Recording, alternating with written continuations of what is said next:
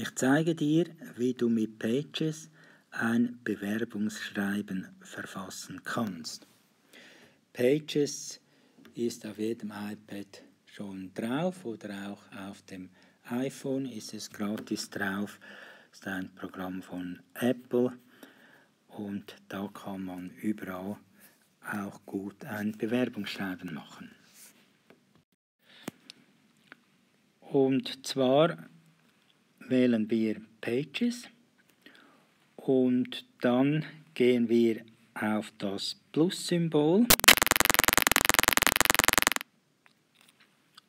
Auch bei Pages hat es Vorlagen, auch für Briefe, auch für Lebensläufe, aber wir nehmen auch da ein leeres Blatt, damit wir das etwas individuell gestalten können, so wie der Lebenslauf, dass die beiden zusammenpassen.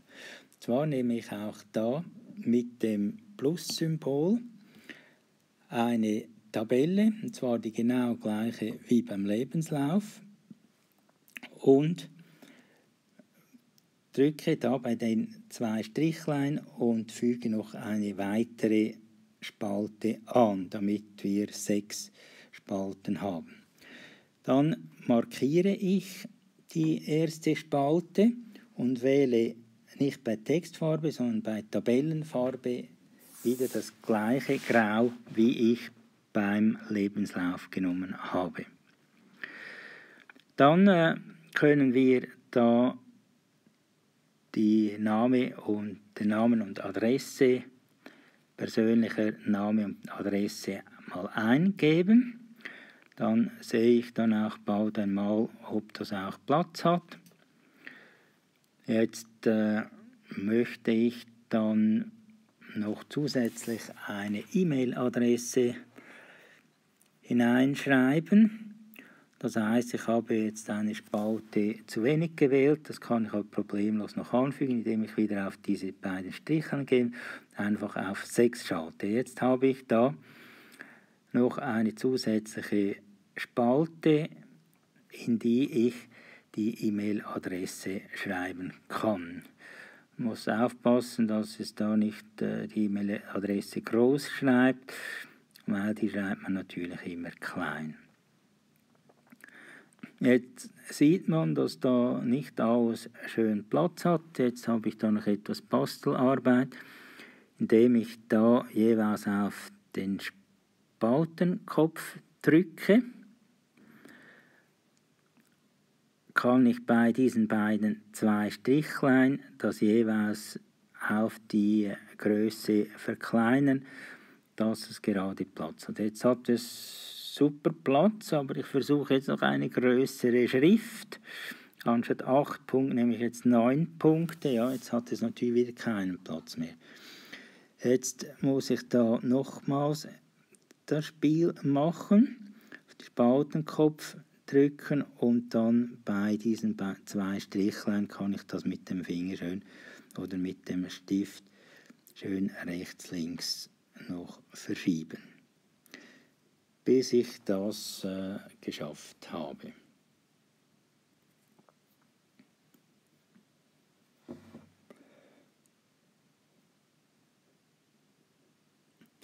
Auch äh, die Spalten, die Zeilenhöhe habe ich da auch noch etwas zusammengeschrumpft. Dann äh, schreiben wir die Adresse der Firma.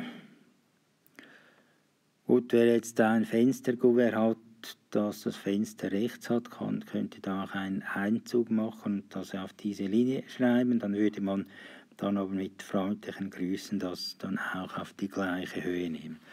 Am meisten Vorlagen haben es heute linksbündig, dass es möglichst einfach ist. Nach dem Punkt ein Leerschlag. Dann äh, ja, habe ich da etwas ausgelassen. Ortschaft, Datum würde ich den Monat ausschreiben. Jetzt da, Achtung, da habe ich vorher noch auf Bold, also auf B, auf Fett geschaltet, damit das betrifft fett wird. Also man schreibt heute nicht mehr Betreff oder so etwas, sondern Man macht es einfach fett, aber nicht unterstrichen, weil Unterstreichungen sind reserviert für E-Mail, also für Internetadressen.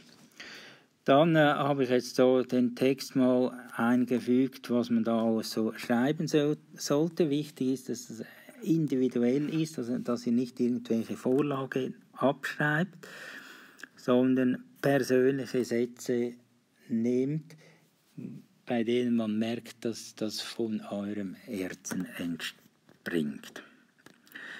Dann äh, die Beilagen, die schreibe ich mal einfach aus, auf, was ich alles dazu noch lege. Lebenslaufzeugnis kopieren, Bewerbungen, vielleicht hat man auch noch Tests, zum Beispiel Stellwerktest oder Multicheck oder auch beides. Jetzt äh, hat es mir keinen Platz mehr. Ich nehme da irgendwo noch eine Zeile heraus.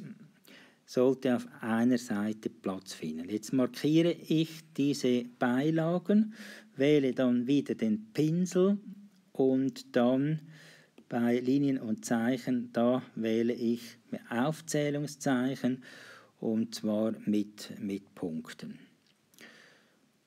Ja, das ist jetzt schon alles. Schon der Text, was ich da noch gemacht habe, ist ein Blocksatz. Das äh, kann man dann mit dem zuerst markieren und dann mit dem Pinsel das auch noch suchen, wo der Blocksatz ist, dass das da sauber aussieht. Und dann natürlich noch unbedingt jemandem geben, der das genau korrigiert, dass es sicher keinen Fehler drin hat.